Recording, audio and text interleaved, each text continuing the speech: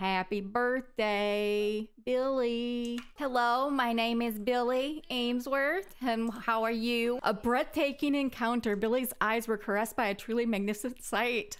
Oh! But one look at her, she's oh so fine. I know I've got to make mine. She's just my kind, can't get her off my mind.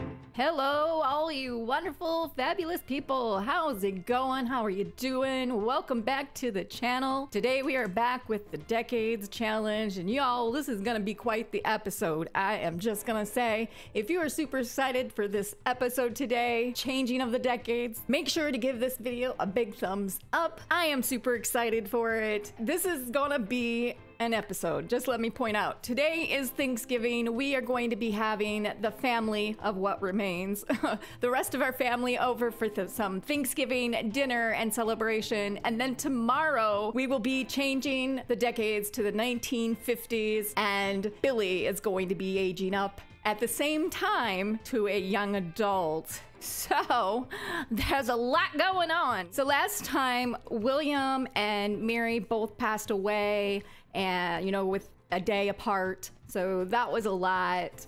And yeah, that's basically all that was the last time. And my funeral mod crapped out so we're not using that anymore but it is 7:30 in the morning so just a few hours has passed nothing real big has changed that i know of they're still sad we're gonna have the family over here in just a little bit so we can get this thanksgiving thing on the road um, and it is raining. It is the end of fall, I believe. Yes, it is day five out of seven of fall. They're having some mysterious weather, I see, and it's kind of cool. Wait, what are you doing? Oh no, you are not having a drink, young lady.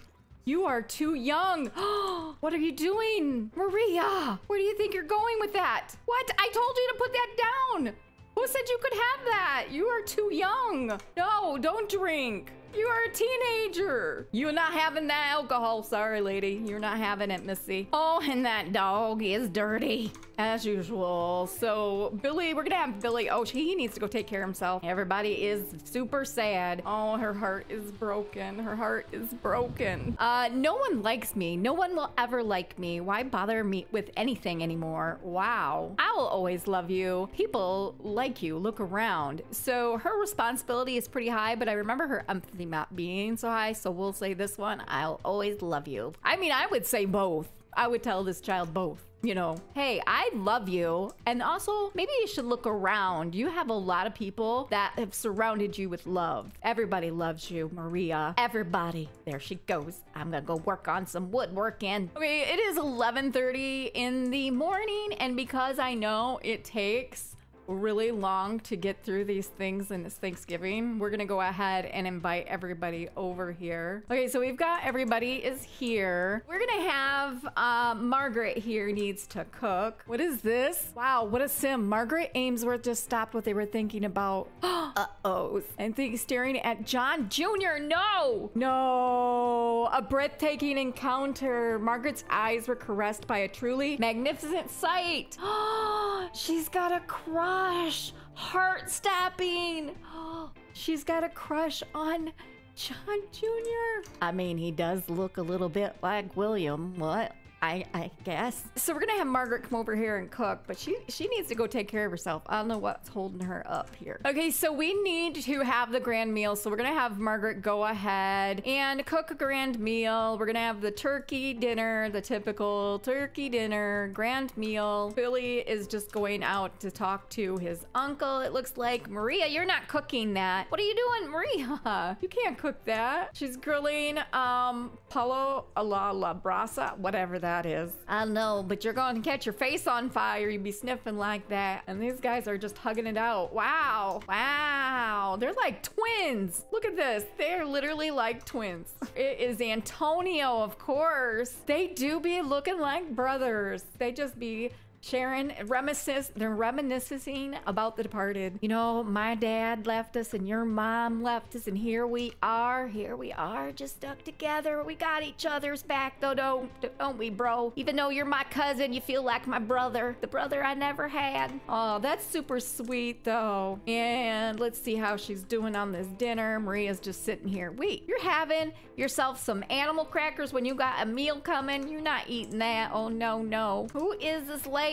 She's not an event PC, NPC. I don't know what she'd be doing. She stopped by, apparently. We'll say she's a neighbor. She stopped by to wish her condolences to us. That was really, really nice. Oh, there she goes. There she goes. She's got to entertain herself. Oh, she's acting real, real silly. Okay, wait. The dinner is here. Okay, we need to call everybody. The dinner is done. And Margaret, you can just call everybody to the grand meal. Wow, this is a lot less Sims than before. Hello, Billy saying hello, everybody. Hope you're all doing okay. How's it going? We're a little bit smaller this year Thanksgiving time. Oh no, I forgot I had other plans. no, Frank. I tell you, holidays are very hard to keep everybody in here. Next time, I'm just gonna lock them in. And Margaret has just made 304 simoleons on her day off. I really don't know who this lady is. I don't know who she is. Everybody's just enjoying a nice time. Okay, we need to, we need to be thankful. So we're gonna have them. They're just gonna share their thankfulness. Sentiment gained. Uh, you're so fun to be around. Yes. It was great seeing you. I have to go, of course. Goodbye, whoever you are, jo- Jacob. Goodbye, Jacob. I am deeply saddened by the news. Maria, I'm here for you. Okay, I don't know who you are, but thank you. This is the saddest Thanksgiving we ever had. Everybody's done left us, and we have all this food. Oh, there's singing, and she just did that on her own. She just broke out and started singing. She also needs to bake and tell stories. So she needs to tell a story to him. She's telling some wild story about how the cops came and, you know, these people got caught and everybody's saying that was the worst story ever. It stunk so bad. And she's thinking, I gotta go wash the dishes, mom. That was a terrible story. That was terrible. Sentiment gained. Oh, everybody's just gaining all the sentiments. So Marie, Margaret is needs to bake. We're gonna have Margaret bake some brownies. You need to head off to bed, little lady. It is only eight o'clock. I'd like to just point out that this was the world's fastest Thanksgiving ever, but we still have the same amount of dirty dishes. Marie, you need to stop and go to bed because it's 10 o'clock almost and you're about to pass out. The pastor has come over and is taking care of our garden right now. Isn't that real nice? That's real, real nice. Where's your shoes at, pastor? That's real nice of him. She's gonna go to bed because it is 11.30 at night and uh, she be looking real, real tired. And Frank is just typing away on that typewriter. Wait, who's this ghost? Is that William? Oh, it's William! Oh, William. Is he gonna start breaking everything now? I have a feeling he's gonna break that refrigerator. he's haunting the pet bowl. I never seen the pet bowl be haunted. William, what are you doing? Thanksgiving was successful. Thanksgiving was awesome. So they all thought it. Mark or Maria, Maria thought it was pretty good, but Margaret and Billy both thought it was awesome. So that's good. Um, Margaret does go to work. Oh, she has three days off. She doesn't go to work for three days. Wait, that dog be giving up the ghost right now. Our doggy just died. Oh no. Oh no. Ginger has led a good life filled with bones, balls, and barks, but it's now time to lay down and make her way to the big dog park in the sky. I wasn't expecting this dog to die yet. Oh dear, I forgot all about that she was aging up and there's the Grim Reaper B. Oh no, this doggy, it did pass away. Right outside at least. At least he didn't die inside the house. Oh, and look at William's here to see it. Like, oh no, I've left him and now the doggy's left him. Oh, this poor family. Okay, I have put them under the tree and I put some little flowers there. The doggy just right next to William. Oh my gosh, I was not expecting that dog to die. It is four, it was almost five in the morning and Margaret just got up. I'm telling you, she took William's spot when William passed away and now she's the early riser. She wants to flirt with her dead husband and get engaged to him. And it is the decade change. It is also Billy's birthday, but we're gonna let him go ahead and go to school. And then when he gets home, we will go ahead and make a cake and have him age up. They don't have anything on here about their dog passing away. I don't think anybody's noticed. so we were getting a call here from Johnny, our neighbor. Would you like to go out with me, Maria Amesworth? I feel the same way. Sorry, but I don't feel okay. Sure. I guess they are dating now. I guess Maria and the neighbor boy have a thing going on. I didn't even know that they. Okay.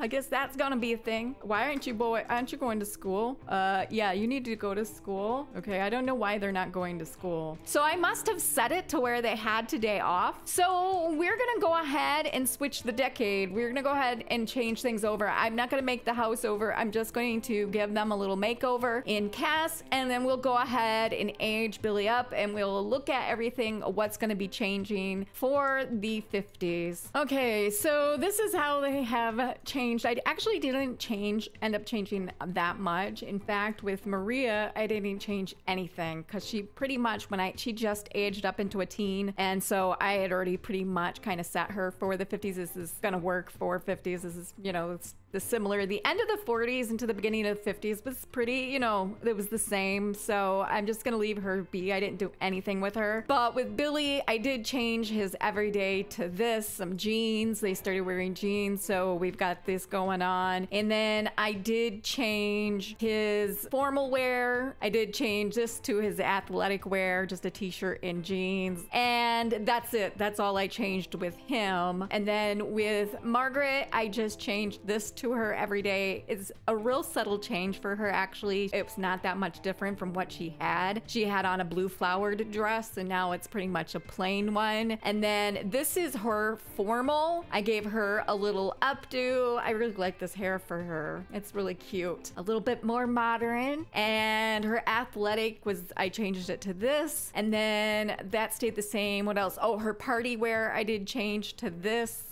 little dress and her swimwear is here and then her hot weather this is for her hot weather and then her cold weather certainly more 50s than what she had before. I think she looks really cute. That's it. That's all i did. It's not a big real big change for the clothing. So there they are. Okay so this we're gonna go right into the rules. I just want to go over this really quickly. Let me first say i normally do check the rules before this point so i kind kind of know ahead. But for some reason this time around, I didn't check the rules until a couple days ago, which is why it's kind of taking me a little longer to get this video made because it was a big shock. I wasn't prepared, but we are going into the Korean War. Now, I read about this back when we were in the 30s, and for some reason, my mind had like closed totally blacked it out. The Korean War has started. It lasted from like 1950, uh, the summer of 1950 to the fall of 1953 or something. Anyways, this is what's gonna happen. So the oldest son is drafted for the Korean War. He will when he becomes a young adult. And the oldest daughter also becomes a volunteer nurse in the war when she becomes a young adult. So the son can try for a baby before he is called to service. Both must eat the cow plant cake once, roll a dice, odds they must eat a second piece of cake, and evens they are sent home. And we all know what happens when they eat that second piece of cake. They die. So if we get odds with Billy, he's gonna die in the Korean War, and we will not be continuing on with him. This is upsetting to me, but at the same time, I guess we should have been prepared. These Sims are not allowed to have a career until they return from war. If you have Strangerville, then they are required to take the military officer career during active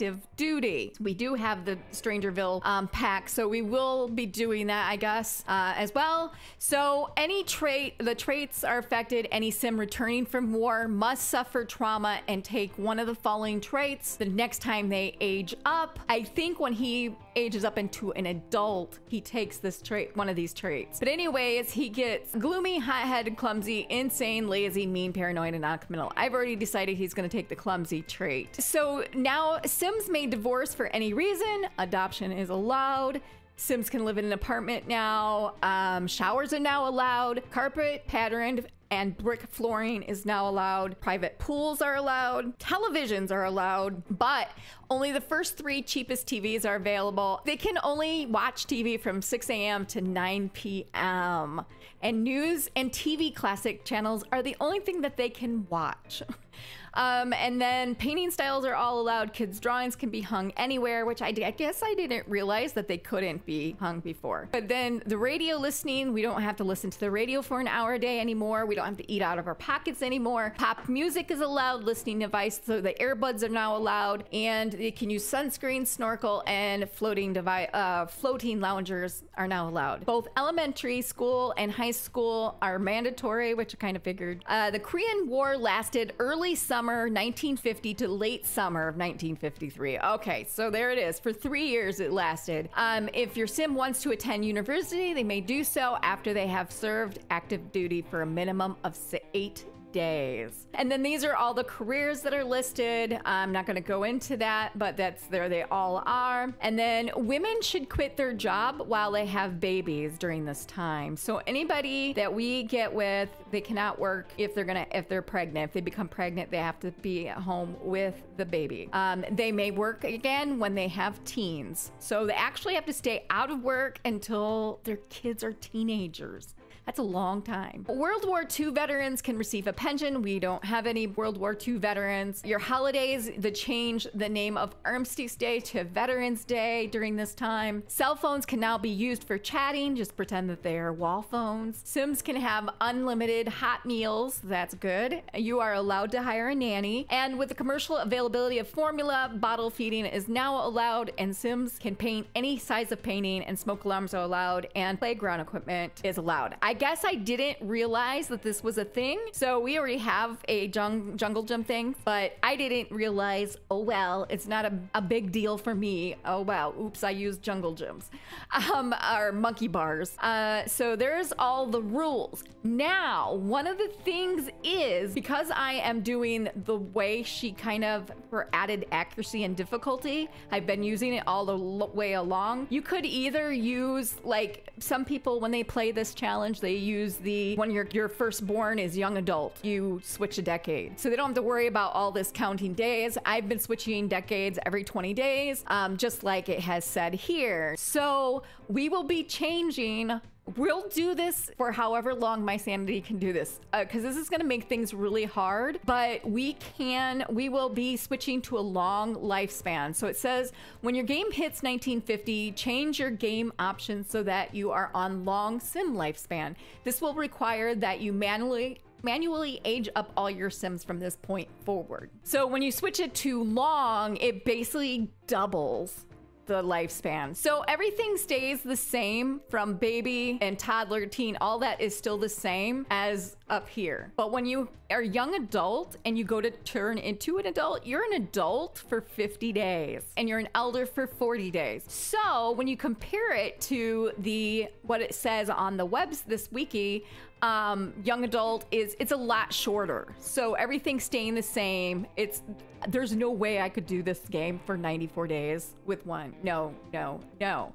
So I'm liking that it isn't quite as long because the short is too short, the normal is not quite long enough, and the long is too long. So this is the way we will be doing it. This actually doesn't affect Billy and all of our family right now. It will affect those born in 1950s, but we will still age them up manually no matter what, but we're going to be using this schedule for them. What's going to further complicate things is the calendar. I've said for a while now that this calendar I've only ever played with the seven day calendar. I've never tried the 14 or the 28 days. I've just always done this. But as I was thinking about this challenge, I decided that not only am I going to make it long lifespan, I'm going to make the seasons a little longer as well. I've always complained that we're having holidays and birthday stack. We have other holidays so close together, and I feel like we can't get anything done. We don't really have time to visit. I feel like these seasons as seven days while it's all I've ever played, I feel like they're too short. And when you're trying to develop a story, I feel like it can be better developed if we had more time. So I'm going to be changing the seasons as well to 14 from 7. So what's going to happen is I'm about to switch this. All of these holidays are going to probably disappear. So what happens when you switch from long to short or short to long? Whatever. The holidays get all kind of mixed up. So we'll see. I have already written them down. Don't worry. And I'm going to change the new calendar over to fit our gameplay. So we will go ahead and switch the game options to long lifespan. And we're having uh, everybody's auto aged up by themselves. Yes, everything there. So we will apply this. And then we will go to weather. And here we'll switch it to 14 days. Now, what happens to the calendar is it all changes. So we now have each season lasts for two weeks. So right now we're here, we have a whole nother week of fall and then we have two weeks of winter, two weeks, you know, you get the point. Oh, right. They did shift. See, I had play tested this, not in this gameplay, but another one, and they all disappeared. So maybe it's just random because they have actually just shifted. Let me go ahead and change the way I have it written down and worked out, and I'll show you guys what I've got. So while we had Thanksgiving here, because we just switched, we were so close to switching the decades, I went ahead and had it. It had already started. I couldn't delete it. But the next time we have Thanksgiving, it's actually going to be down here on this Thursday because this Thursday will be Halloween. So we'll literally have a hol- one or two holidays in a week. So we have Halloween will be this first day or this week of fall. Then Thanksgiving here. Right here is Veteran Day coming up on Monday. This first week of winter will be Christmas and then New Year's. I just shifted it up by a week because while there's not a holiday here right now, in the 70s, we will be gaining Martin Luther King Day here. And I really didn't want to have that all in the same week. Um, so we'll have one holiday here. Then this first week of spring, we have Valentine's Day. And then the second week, I moved Easter from here to here. And then we have also in the 1980s, we do, we will be gaining, we will be gaining Earth Day, which will be like here. So we'll be gaining Earth Day in the 1980s. That will be here, so there'll actually be two come the 1980s. While this is all in the future, it is coming pretty quickly. So I'm just, I want to keep track of it right now so I don't get caught in the same spot that I did with the 50s and all of this change. And then over here, we have Memorial Day for this week. And then this week is 4th of July over here. So we literally have pretty much one holiday a week each season so it's two holidays a season two or three se- well some some seasons will have three. I did a lot of this so we don't run into the problem that we ran into before with having birthdays on holidays and then you can't celebrate the birthday. Also we now that we're on longer lifespan it's changed all of their birthdays right? So we're actually going to be aging billy up today. And then now margaret she has 18 days till she's going to be an elder. That's not true. She has less than that. She has like seven days until she's an elder, I think, or six. And Maria now has 38 days till she is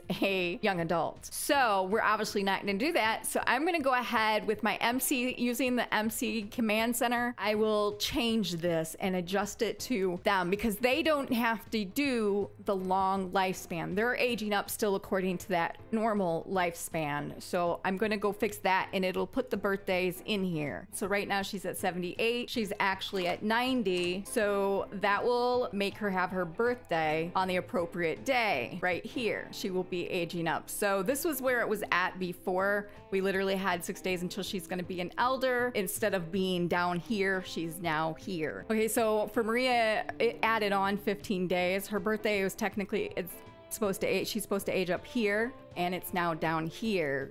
So we have to take or add on the 15 days. That should put her birthday right here on the first day of spring. So now we've got their birthdays when they should be. So by doing this, this is going to allow us to play with other families a lot easier. So I'm going to be jumping around in families more because we'll have suddenly time. I also will have to, off camera, I will go through all of our family because, like Frank, he was supposed to die, I believe, in two days, I think, or what, what did it say? Six days, whatever it was. And now it says he has 29 days left in elderhood when he only should have six. I have written everything, all of these families birthdays down. So we, I will have to go fix the rest of the family. Uh, I guess I'll do that off camera. We'll fix them. Okay, so we are gonna go ahead and let's have them. We'll have um, Margaret go ahead and plan this event for Billy. Okay, so we have it set and everybody is on their way here. He's gonna go to the bathroom, take a bath. Okay, so we need to blow out candles. So first of all, Margaret needs to bake a cake. So let's get that going. Okay, here's our cake. Here's our cake. So we'll go ahead and put this here. And Margaret, you can go ahead and add birthday candles. And Billy, you can come over here and blow out the candles. And I just realized I have dressed them in the same exact outfit. Again, I did this again. I did this with Margaret and Mary. Happy birthday, Billy. And Billy has aged up. Because we haven't gone to the war yet, I think I'm going to give him either um, family oriented or good. You know, I think I'm going to give him family oriented. Let's go with family oriented. And then later on in life, after the war, we will have to take, we'll take away glutton and we'll give him the clumsy trait. Yes, there we go. Let's have a drink, make favorite drink. I don't know what his favorite drink is. So happy birthday, Shaman. Wait, our birthday party ended. Oh, it was bad. Oh well, you know, it happens. It happens. The birthday party has ended. So Billy decided, uh, since he had such a bad birthday, he was just gonna take a walk. And he was walking by these people's houses. This is actually just down the road from where he lives just down the street. He saw these people standing out here. He's like, what is going on over here? Hello, my name is Billy Amesworth. And how are you? What's your name? Oh, you're Sandra Banks. Nice to meet you. And you're Susan. Hello, Susan Banks. How are you? Nice to meet you all. I'm your neighbor from down the street. I hope you guys are doing fine. Wow, what a sim. Billy Amesworth just stopped what they were thinking about for a moment and found that Susan. Okay, so he is attracted to Susan over here. A breathtaking encounter. Billy's eyes were caressed by a truly magnificent sight. Oh. So this is the Banks's home. We're just gonna get to know these folks over here. But she's really cute. I really like her. I think she's super cute. This is gonna be a very fast courtship, y'all. It's gonna be a very fast courtship. Uh, look at how fast their friendship is going up. Wow. She's a genius. Billy has learned that Susan is a genius. Billy has learned that Susan is a substitute teacher at Knowledge Providers Association. Wow. Do you feel happy around me?